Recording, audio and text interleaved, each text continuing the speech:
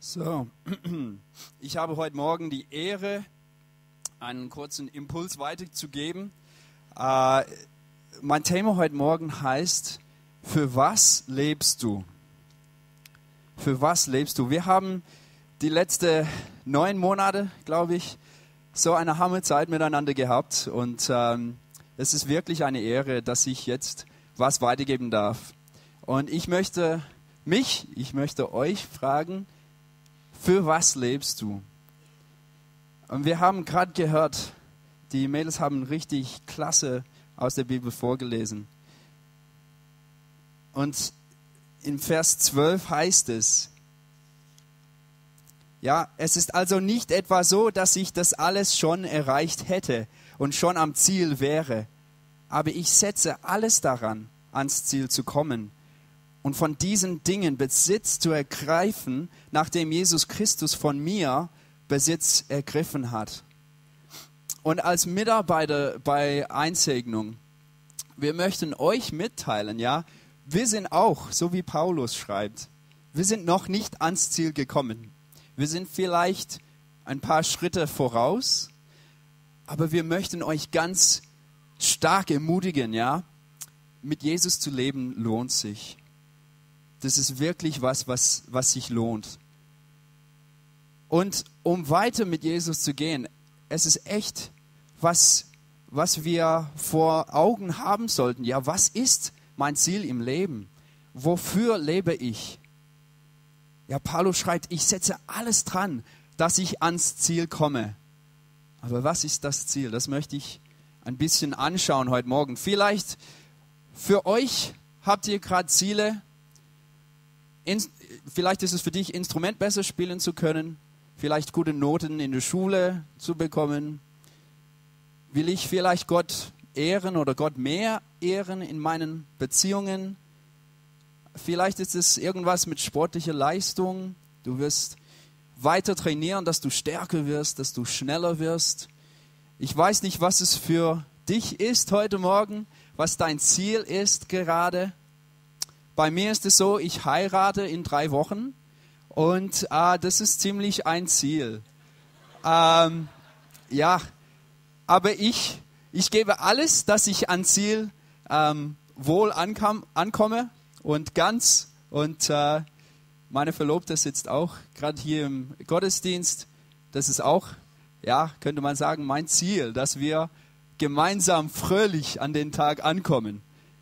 Und äh, ich bin ganz zuversichtlich und ich hoffe, Sie auch. genau. Aber wenn wir ein Ziel vor Augen haben, was uns ganz arg beschäftigt, dann sind wir mit so vielen Gedanken beschäftigt. Unsere Zeit verbringen wir, um dass wir alles ähm, erledigen können. Zum Beispiel bei der Hochzeit. Es gibt viele kleine Sachen, die man erledigen muss. Äh, zum Beispiel Dekoration. Ich wusste nicht, dass Deko so viel Kraft kosten könnte. Und ich bin so dankbar, dass meine Verlobte das so ähm, souverän äh, alles erledigt. Das ist echt ein Segen für mich.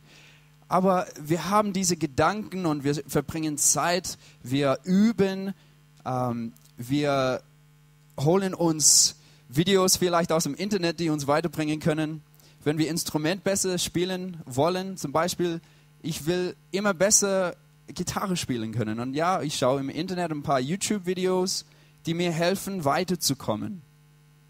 Und für uns als Christen ist es auch so. Jesus will, dass wir weiterkommen. Jesus will, dass wir letztendlich an das Ziel kommen, dass wir bei ihm sind.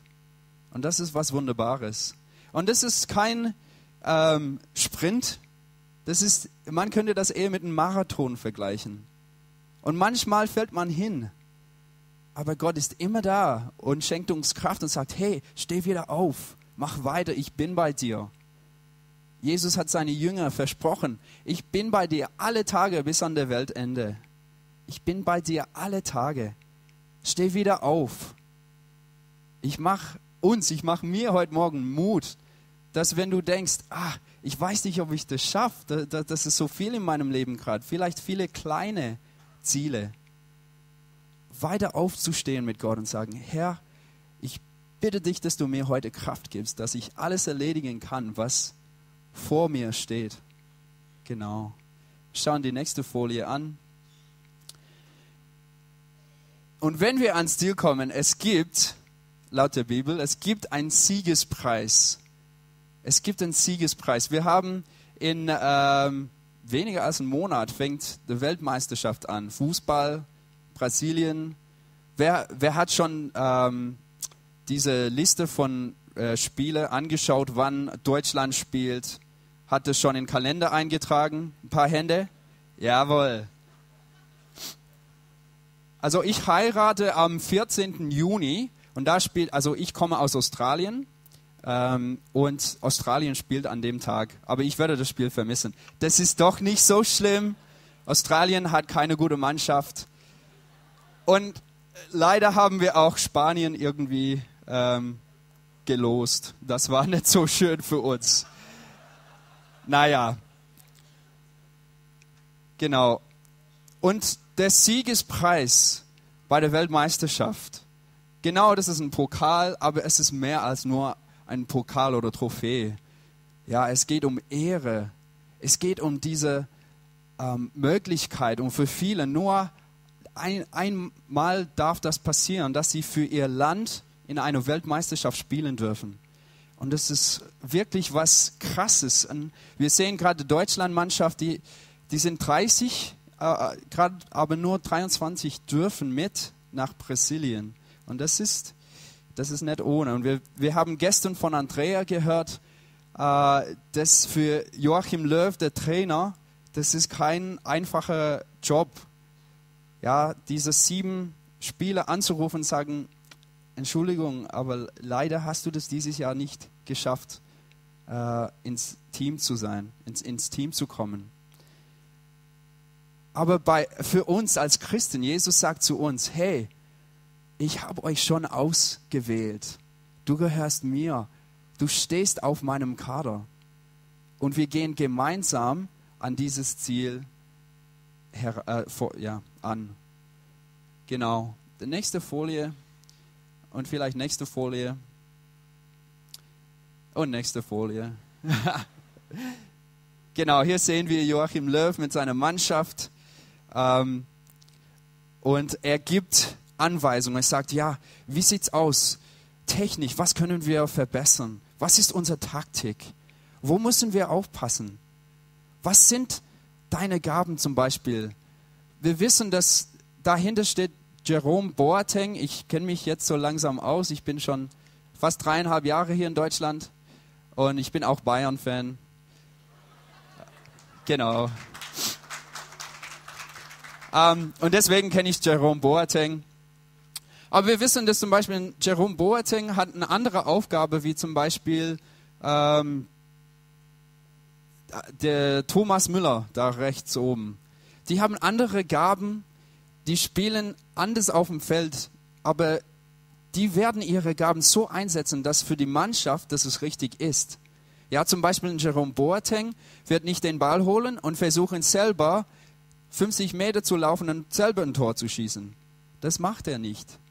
Ab und zu mal schon. Aber das ist nicht seine Aufgabe. Er weiß, was er zu tun hat, dass es für die ganze Mannschaft gelingt, um zu gewinnen. Bei uns ist es auch so. Auf der nächsten Folie sehen wir, bei Jesus war es damals auch ähnlich. Ähm, wir sehen, dass Deutschland auch rot-weiß genommen ha hat ähm, vielleicht von, von Jesus inspiriert, das wissen wir nicht. Ähm, aber Jesus war auch mit seiner Mannschaft unterwegs. Er hat seine Jünger ausgewählt, ausgesucht. Das waren ganz normale Menschen. Das waren Fischer. Das waren, äh, wie nennt man das so, Banker. Zöllner. Das waren ganz normale Menschen. Und, er, und Jesus hat sie zu ihm gerufen hat Zeit mit denen verbracht, hat ihnen vieles gelehrt. Und dann letztendlich hat er gesagt, und jetzt geht und mit dem, was ich euch beigebracht habe, gebt das dann weiter. Lehrt sie, alles zu halten, was ich euch befohlen habe, sagt Jesus. Und für uns, wenn wir mit Jesus unterwegs sind, dann sagt Jesus zu uns, jetzt das, was ihr empfangen habt, gebt das weiter. Und das möchten wir euch ähm, mitgeben, dass von dem, was ihr bekommen habt, dass ihr auch Platz findet, wo ihr das weitergeben könnt. Und ich ermutige euch, dass ihr in Verbindung bleibt und versucht nicht, das alleine zu machen. Wenn Lahm versuchen würde, das ganze Spiel alleine zu spielen, er würde das nicht hinkriegen.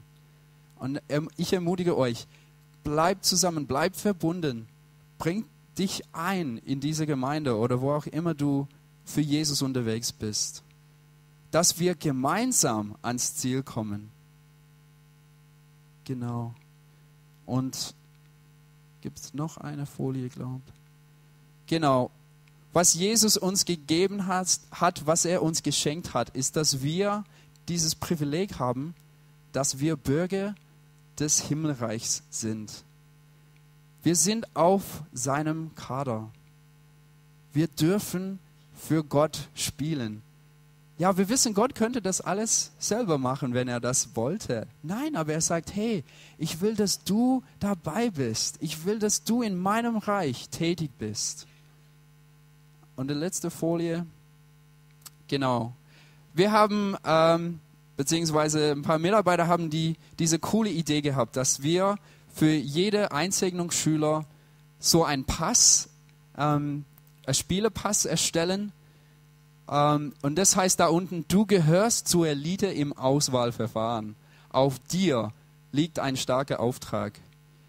Also wir wollten eigentlich für alle hier einen Pass ähm, erstellen, aber das ging leider nicht aus finanzieller Gründe. Aber für unsere Einsegnungsschüler, die werden auch so einen Pass bekommen. Das, das ist eine Erinnerung, dass es, es geht jetzt weiter. Die haben richtig toll mitgemacht, Prüfung alle bestanden. Ein paar lachen da. aber die haben echt gut gemacht, aber es geht weiter. Wir haben noch eins EU Plus heißt es, wo wir noch äh, weitergehen in, in, in, in Dingen Leiterschaft und wie kann ich äh, in der Gemeinde weiter dienen und so weiter und so fort. Und wir freuen uns auf diese weitere Zeit mit euch. Gottes Segen.